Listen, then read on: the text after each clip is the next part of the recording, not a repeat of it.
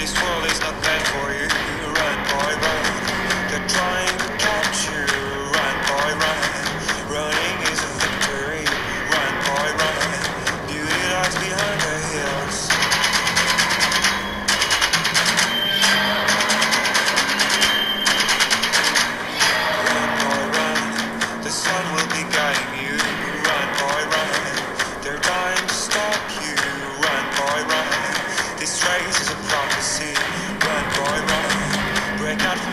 anxiety